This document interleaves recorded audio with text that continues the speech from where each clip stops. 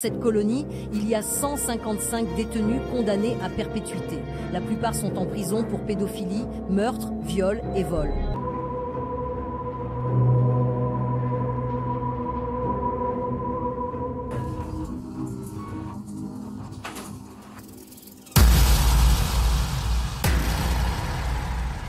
C'est très difficile. C'est effrayant. En gros, ils font tous de la prison pour meurtre. Un détenu a essayé de commettre une pendaison en utilisant des draps. Dieu donne la vie, je vis.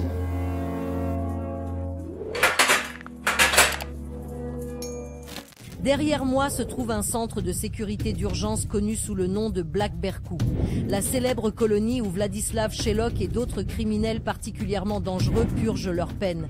Ils ont tous été condamnés à la prison à vie. De l'autre côté des barbelés, ils ont leur propre vie et leurs propres règles.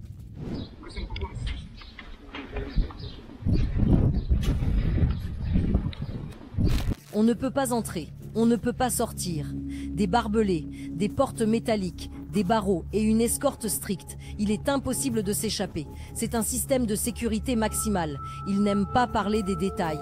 Les informations sont confidentielles. On peut filmer sur vidéo, mais pas tout. Il n'y a pas de téléphone portable ici et le personnel parle exclusivement par radio. L'apparence effrayante de la colonie a été remplacée par une rénovation de l'intérieur.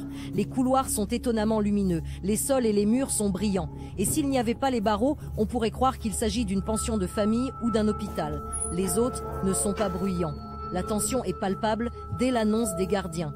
Contrôle des cellules.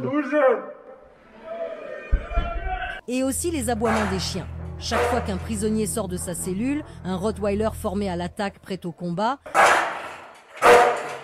le chien n'a pas de muselière, mais il ne réagit pas du tout aux nouveaux venus dans la colonie. Je veux dire nous. Sa cible n'est que les prisonniers en uniforme. L'indicateur est l'apparence et l'odeur. Il s'agit de Dimitri Olkovski. Mais pour nous, il s'est présenté d'une manière enfantine. Dima. Il est encore jeune, mais il est ici pour une affaire très sérieuse. Le meurtre de deux personnes et le viol d'une mineure. Ce crime très médiatisé s'est produit il y a quatre ans à Kouchmouron. Pour brouiller les pistes, Dimitri et son complice ont incendié la maison où se trouvaient les victimes. Quelqu'un comme Dimitri est ce qu'on appelle dangereux par ici. Cela se voit. On a l'impression que le prisonnier n'a pas encore accepté la condamnation. Il se comporte nerveusement et il répète sans cesse qu'il se repent. La vie est courte, la vie est belle. Il n'est pas nécessaire de faire des bêtises. J'ai fait une erreur. C'est très dur.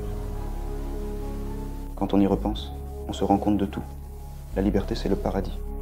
C'est un bon point. J'aurais aimé le savoir plus tôt. On n'apprend que de ses erreurs.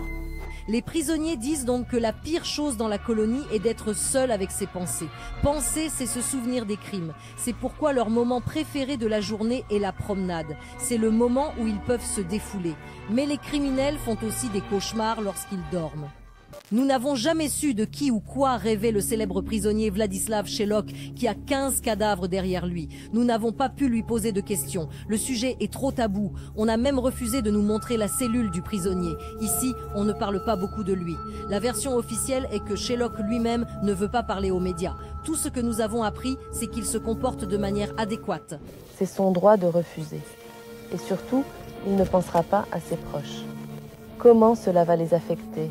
Vous comprenez qu'il y aura beaucoup de battage médiatique, beaucoup d'attention et que cela affecterait ses proches. C'est pour eux qu'il s'inquiète en premier lieu. Svetlana Sherbakova est une psychologue locale. Elle travaille ici depuis 17 ans et connaît en détail l'histoire de chaque prisonnier. La tâche de cette femme est de prévenir les crises d'agression et les suicides parmi les prisonniers. Et ce n'est pas si facile, vu la nature des criminels. Ils ont essayé de se pendre avec des draps, mais comme ils sont observés toute la journée, sous surveillance vidéo, ils ont été stoppés au stade initial, littéralement en préparation. Le risque que les détenus se blessent est minime. Dans les cellules, tous les meubles sont soudés au sol. Surveillance 24 heures sur 24. La vie est strictement routinière. Levé à 6 heures, extinction des feux à 22 heures. Il y a le temps personnel, du divertissement, livres, télévision, lettres et appels à la famille. Les promenades au grand air sont obligatoires.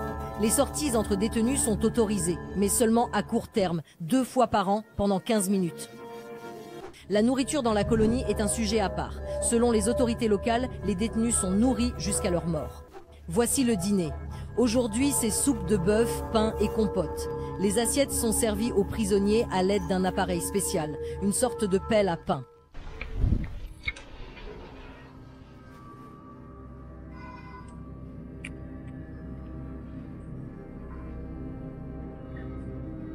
Il y a quatre prisonniers par cellule. Ils sont sélectionnés en fonction de leur type psychologique.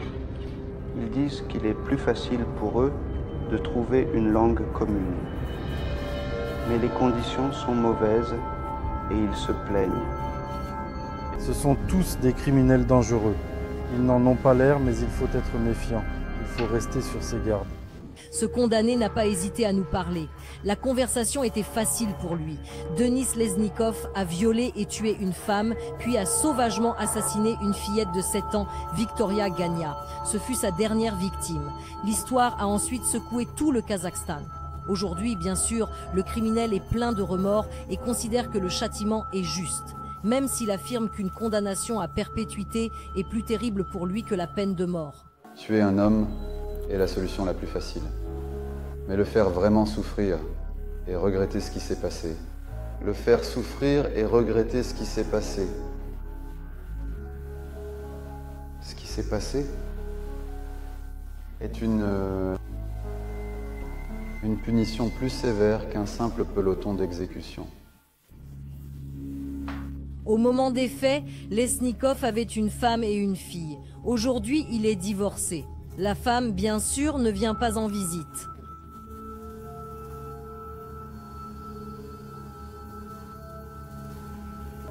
Lesnikov n'a pas pu répondre à la question de savoir pourquoi il avait violé une fillette de 7 ans. Il a prononcé de nombreuses phrases générales. En fin de compte, tout est de la faute de la vodka et d'une enfance difficile. Beaucoup d'entre eux, la plupart, essaient de rejeter la responsabilité sur autre chose. Lui-même, dit-il, je me repens, je prends conscience d'une nouvelle responsabilité. Il rejette la responsabilité sur l'alcool et sur son enfance. Dans cette colonie, il y a 155 détenus condamnés à perpétuité. La plupart sont en prison pour pédophilie, meurtre, viol et vol. L'État dépense environ 1 400 000 dollars par an pour l'entretien. Tous les prisonniers connaissent bien leurs droits et il est impossible de les forcer à faire quelque chose qui n'est pas de leur plein gré. Les défenseurs des droits de l'homme peuvent apparaître ici à tout moment. Récemment, pour des raisons humaines, la célèbre pose de l'hirondelle n'a pas été utilisée dans l'institution. Il s'agit de la position dans laquelle un prisonnier est conduit de manière inclinée vers le bas. Aujourd'hui, les criminels marchent droit